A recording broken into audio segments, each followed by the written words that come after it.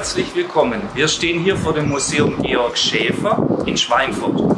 Mein Name ist Wolf Eiermann, ich leite das Haus und wir werden Ihnen jetzt nachher mit zwei Kolleginnen von mir drei Bilder für Sie besprechen, die wir ausgewählt haben. Zum einen, weil sie uns so gut gefallen, aber zum anderen auch, weil sie in der Welt der Kunst eine ganz bestimmte Bedeutung haben.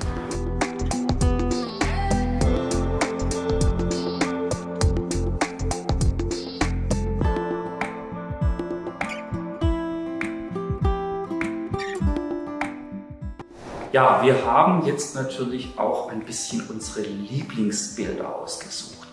Das sind natürlich jetzt nicht die Bilder, die wir alle als die absolut wichtigsten vielleicht in unserer Sammlung im Museum bezeichnen würden, aber sie sprechen uns als Kunsthistoriker und Kunstvermittler natürlich in besonderem Maße an. Hier stehe ich vor einem Werk, das Max Slevogt ein bekannter deutscher Maler, den man dem Impressionismus zuordnet, 1896 gemalt hat. Und der Reiz dieses Werkes für mich liegt darin, dass es all das hat, was ein großes Kunstwerk ausmacht. Das ist zum einen spannender Farbauftrag. Also wenn Sie das anschauen, dann sehen Sie hier große Flächen in schwarzer Farbe, die aber, wenn man genau hinschaut, gar nicht schwarz sind, sondern dunkelviolett und auch Auberginefarben. Und sie korrespondieren hier im Hintergrund mit einer Bühne, einer Theaterbühne. Und da geht, darum geht es auch in diesem Werk. Es ist ein Maskenball zu sehen. Hier im Vordergrund eine junge Frau, überglücklich, sie tobt ganz ausgelassen und zieht einen Mann hinter sich her. Spannend ist aber auch das Thema, das hier Max Nievogt wählt, denn wir sind in einer Zeit, in der es noch auch um das Thematische geht. Also um 1900 herum lässt ja die Kunst sich ein bisschen mehr ein auf Formen und Farben und ein anderer Maler namens Leibel hatte damals postuliert, in der Malerei geht es nicht um das Was, also um die Thematik, sondern es geht um das Wie. Dieses Bild vereint aber noch beides. Also man könnte geradezu sagen, Max Levogt zeigt, um was es geht und er zeigt, wie man es malen soll.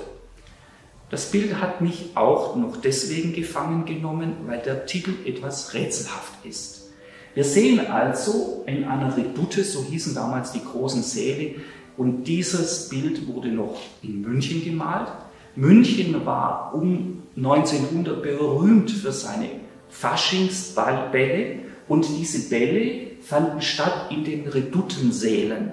Und so ist der Titel des Bildes eigentlich auch richtig gewählt, Maskenball. Sie trägt ja eine Maske, erinnert uns jetzt natürlich gerade an die Corona-Zeit. Und dieser Mann hinter ihr hat ja auch eine Maske. Und sie ist noch voller Energie. Es ist ja wie ein Filmausschnitt. Sie zieht ihn hinter sich her, man tobt ausgelassen. Und im Hintergrund sehen wir nur schemenhaft, dass da noch viele, viele andere Leute in diesem Theater sind, auf dessen Bühne sie gerade tanzt. Und sie tanzt nicht so richtig, sie zieht einen Mann hinter sich her. Das Merkwürdige ist ja jetzt, wenn wir uns ein bisschen so die Rolle der Geschlechter anschauen. Ist denn das typisch, dass eine Frau einen Mann hinter sich herzieht? Dann ist auffallend, dass sie rote Haare hat. Das sagt eine bestimmte Aussage. Rote Haare galten damals als, wie soll man sagen, geradezu sittenwidrig. Ja, die Damen, die tatsächlich natürliche rote Haare hatten, denen konnte man natürlich nichts anhaben. Aber wer sich die Haare extra rot gefärbt hat, naja, das war dann schon ein bisschen kritisch. Und Slevogt hat genau in dieser Zeit immer wieder die Schauspielerinnen, aber auch die Damen von einem gewissen zweifelhaften Ruf gerne mit roten Haaren gemalt. Nun, ganz wichtig ist eben, dass der Titel des Bildes ein ganz anderer ist. Wir finden den Titel des Bildes zuallererst in einigen Jahren darauf in einer Publikation, die ein mit Max Levogt befreundeter Kunsthistoriker namens Volke verfasst hat. Und er sagt uns, das Bild heißt nicht Maskenball oder Faschingsszene, nicht dieses lockere, lustige Treiben, um das geht es da anscheinend gar nicht, sondern es heißt Totentanz. Aber was ist damit gemeint? Hier geht es doch nicht um Tote, die da tanzen, sondern man könnte höchstens sagen, man kann sagen, dass diese Männerfigur, die er ja auch nur andeutet, den Tod symbolisiert. Die Frau also im, so quasi im höchsten Moment des Glückes, in der höchsten Lebensfreude jemand im Schlepptau hat, der eigentlich den Tod verheißt. Und das ist doch eigentlich ein, wie soll man sagen, schon ein, ein psychologischer, aber auch philosophischer Ansatz des Malers, dass er hier die höchste Freude, den Spaß immer so ein bisschen auch vereint mit der dunklen Seite, die natürlich unser Schicksal immer wieder begleitet. Und das ist ja auch unser Leben. Wir müssen immer das eine mit dem anderen zusammen sehen. Und darauf deutet, spielt der Titel an. Aber woher kommt er?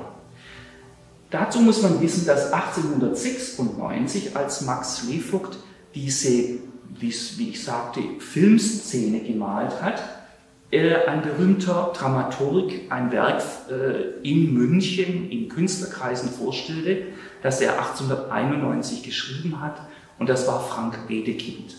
Und Frank Wedekind hat ähm, auch geschrieben in der Zeitschrift Simplicissimus. Und diese Zeitschrift Simplicissimus hat 1896 ihre erste Folge vorgestellt. Der Absatz war reisend und da ging es natürlich auch um Gesellschaftskritik. Und Max Levogt war derjenige, der die Gedichte, die Frank Wedekind im Simplicissimus veröffentlicht hat, illustrierte. Also er kannte sehr gut Frank Wedekind. Und wenn wir in eines dieser Hauptwerke von Frank Wedekind blicken, dann finden wir auch eine gewisse Erklärung für dieses Bild. Ich zitiere jetzt aus dem Werk Frühlingserwachen von Frank Wedekind aus dem Jahr 1891, das mit Sicherheit Max Levogt gekannt hat, der ja diese Gedichte von Frank Wedekind im Simplicissimus illustrierte. Man braucht dich nur anzusehen, Moritz, sagt die Ilse. Ich kenne keinen Katzenjammer. Vergangenen Karneval kam ich drei Tage und drei Nächte in kein Bett und nicht aus den Kleidern.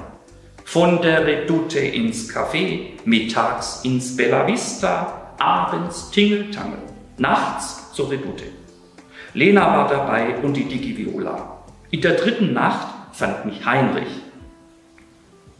Er war über meinen Arm gestolpert. Ich lag bewusstlos im Straßenschnee.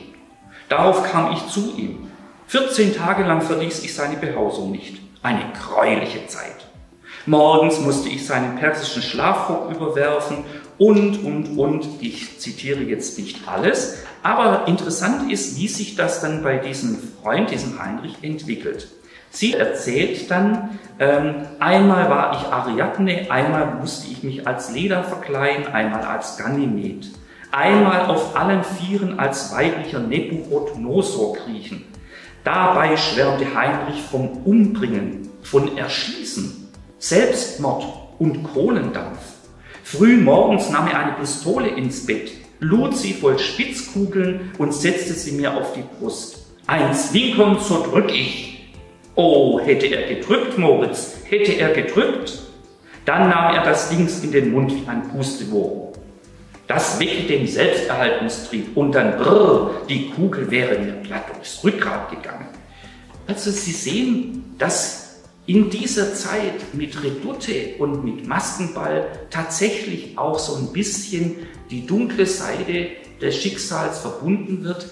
Dieses Bild dient also nicht der Aufklärung und es ist mit Sicherheit auch nicht pädagogisch wertvoll, sondern es ist ein sehr ambivalentes Bild in der Thematik. Was heißt das?